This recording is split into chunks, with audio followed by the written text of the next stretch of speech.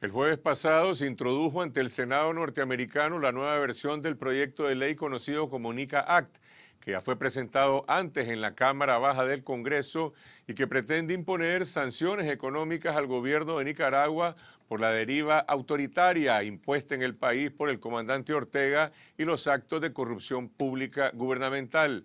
Un proyecto de ley que, reiteramos, es contrario al interés nacional y es condenable por razones éticas pues la pretensión de cercenar el acceso del país a créditos internacionales para obras de desarrollo no admite ninguna clase de justificación política, pero al mismo tiempo advertimos que el único responsable de estas eventuales sanciones económicas es el presidente Ortega, que ha impuesto en el país un régimen autoritario que demolió la institucionalidad democrática, eliminando la transparencia y la rendición de cuentas, lo cual ha generado un sistema de corrupción en la cúpula gubernamental.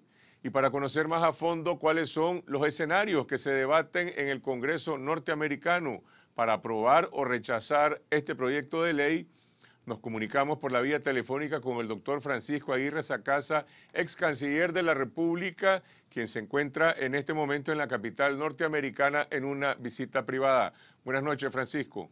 Buenas noches, Carlos Fernando. La introducción de la NICA Act en el Senado ha causado sorpresa en Nicaragua porque existía la creencia de que primero debía discutirse y aprobarse en la Cámara para llegar al Senado. ¿Cómo funciona el procedimiento parlamentario en Estados Unidos? Algunas personas creen equivocadamente que un proyecto de ley tiene forzosamente que comenzar en, el, en la Cámara Baja, pero eso no es así solo aquellos proyectos de ley que tienen que ver con recaudación de dinero, en otras palabras, con eh, eh, nuevos impuestos o con el presupuesto, tienen que iniciarse en la Cámara Baja. Ambas, para todos los otros temas, incluyendo temas como el NICA ambas cámaras tienen plena autoridad para iniciar su propio proyecto de ley. ¿Qué es lo que ha pasado en el caso del NICA Primero, un grupo de 20 diputados de ambos partidos, 10 demócratas y 10 republicanos, sometieron un nuevo proyecto de ley del el NICA Act hace más o menos un mes. Y ahora, el día de ayer, para estar más preciso, el eh, senador Ted Cruz, republicano de Texas, sometió a la Cámara Alta, al Senado, un proyecto de ley para el mismo NICA Act. No quiero decirte Carlos Fernando, que son idénticos los proyectos de ley. Y sobre todo es muy poco probable que ambas cámaras llegaran a aprobar a dos proyectos de ley idénticos inicialmente, porque lo que típicamente pasa en los Estados Unidos es que eh, cada cámara tiene que aprobarlo, es decir, una mayoría de los diputados y una mayoría de los senadores tienen que votar a favor de su proyecto de ley probablemente podrían haber diferencias entre la versión de la Cámara y la versión del Senado. En el caso, en el caso de que ambas cámaras fuesen a aprobar un proyecto de ley para Nicaragua y que hubiesen diferencia entre los dos proyectos de ley, pasarían a un proceso que se llama la reconciliación eh, en un comité conjunto del Senado y de la Cámara de Representantes. ¿Y cuáles son los plazos del proceso legislativo ahora que este proyecto de ley ya se encuentra en las dos cámaras? En primer lugar, eh, recordando lo que pasó el año pasado, eh, vos te acordás, te acordás que se vencieron los plazos en enero para la aprobación de eh, el NICAC y como solo había sido aprobado por la Cámara, murió. Pero el Parlamento norteamericano es electo por dos años asumió sus funciones en enero del año 2017 y continuará eh, sesionando hasta enero del 2019.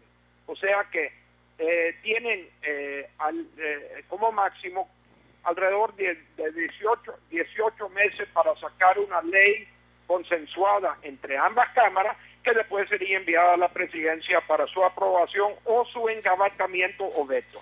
Desde el punto de vista político, ¿qué significa que el mismo proyecto de ley se haya introducido de forma simultánea en ambas cámaras?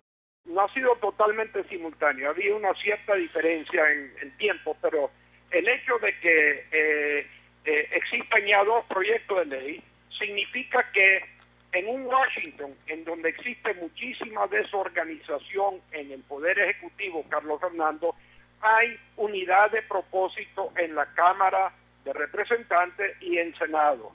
No quiere decir esto, Carlos Fernando, que va a salir aprobado el NICA, pero sí quiere decir que hay un grupo importante de diputados y eh, de senadores, tanto demócratas como republicanos, que están eh, de, cierta forma trabajando para que este NICA salga. Y salga dentro del tiempo que es necesario para enviárselo al presidente, ya sea para su aprobación o su encabezamiento, antes me atrevería a decir no solo de finales de este año, sino que posiblemente hasta en el verano norteamericano. Y estamos hablando de los meses de junio, julio y agosto. Ahora, los congresistas y senadores promotores de la NICA Act han ignorado totalmente el acuerdo entre el comandante Ortega y la OEA, a pesar de la apelación que les hizo el secretario general Luis Almagro. ¿Por qué?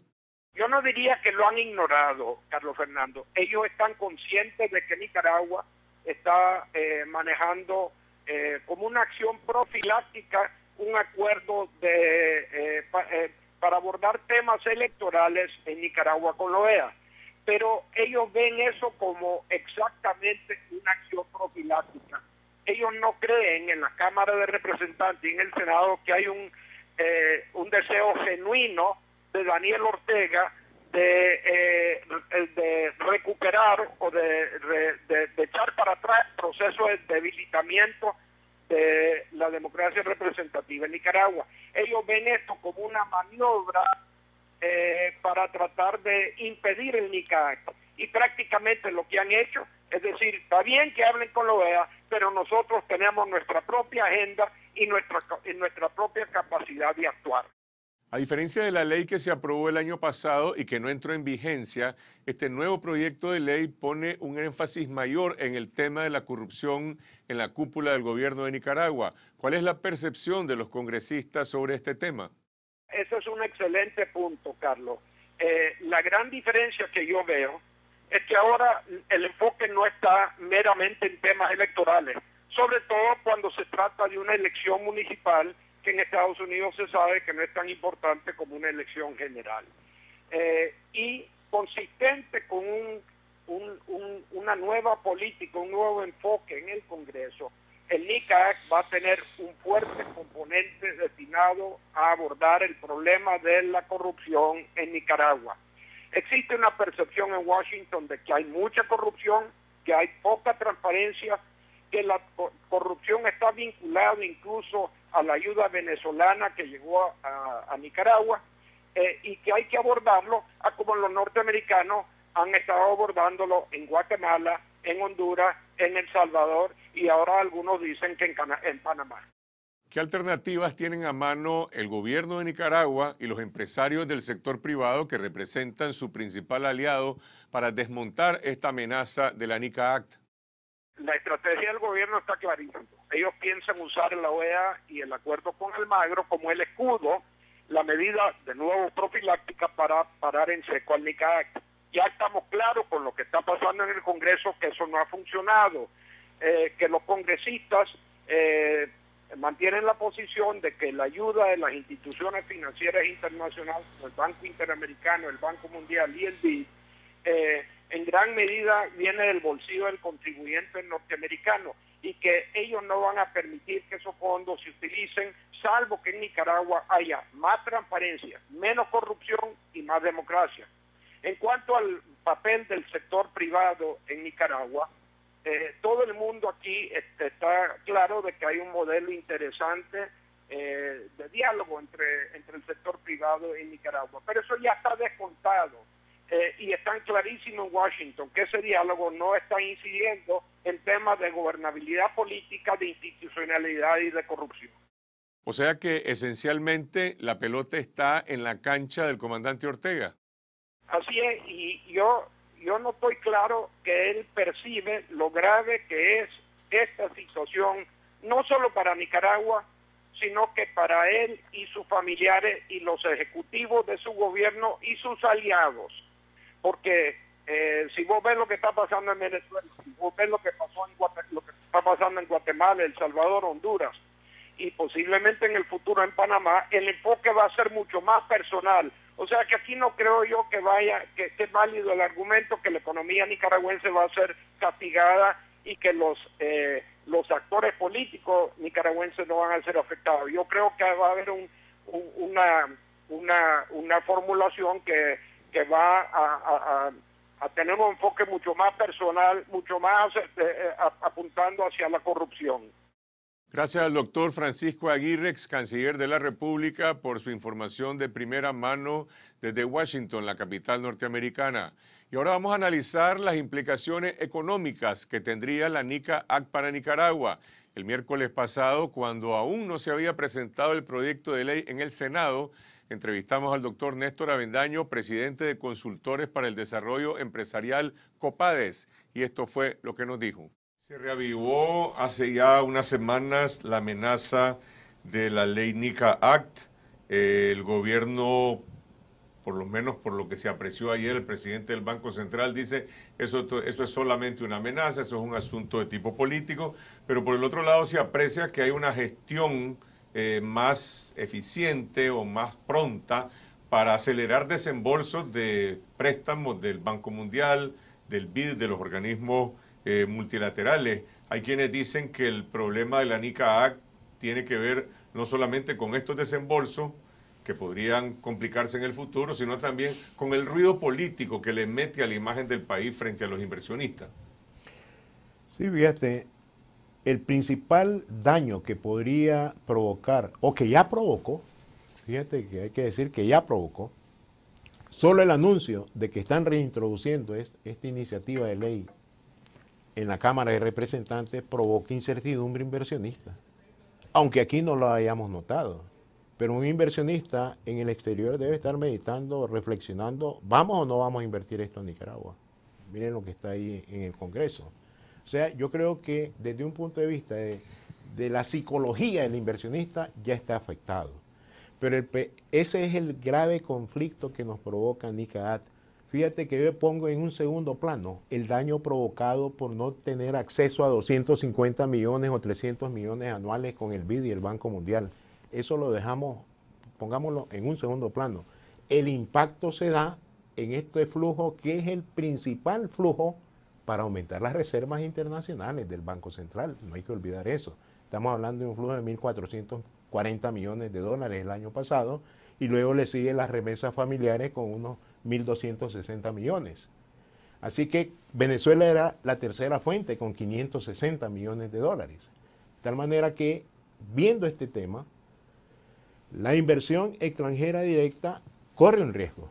Y no olvidemos que el 20% del flujo total de la inversión extranjera directa acumulada desde 91 hasta 2016 procede de Estados Unidos. Estamos hablando de un elemento en el cual de manera directa la política, o en este caso la falta de democracia, el autoritarismo, el, de, el, desplome institucional está afectando ya la economía. Yo diría que, y, voy a ser muy franco, en mi opinión, para el presidente de la República, él es la única persona que puede resolver esto.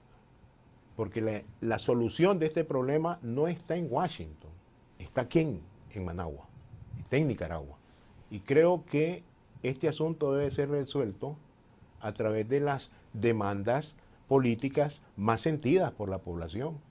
Por ejemplo, 70% de los votantes no fueron a las urnas electorales en noviembre pasado y hay, un reclamo de transparencia electoral. Creo que la NICAD no va a esperar tres años a la OEA de cara a unas elecciones municipales en noviembre próximo. Creo que hay también el tema de la institucionalidad, la independencia de los poderes del Estado. Creo que el Estado de Derecho ha sido reclamado y por supuesto hay que responder a esto. Y la NICAD metió algo fuerte, una lista de corruptos de los distintos poderes del Estado. Yo imagino que esa lista ya está hecha. Eso no se puede inventar y eso va a afectar la confianza jurídica en Nicaragua. Y esto va a debilitar el flujo inversionista en Nicaragua, Podemos decir mucho de que tenemos una gran seguridad personal, una gran seguridad física, pero muy cuestionada la inseguridad jurídica en este caso. Es lo que dice el economista Néstor Avendaño sobre el peligro de la NICA Act y la necesidad de atacar aquí en Managua, no en Washington, el problema de la corrupción y la falta de democracia en el país.